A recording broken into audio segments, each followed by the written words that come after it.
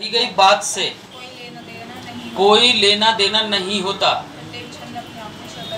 हाँ प्रत्येक छंद अपने आप में स्वतंत्र या पूर्ण होता है।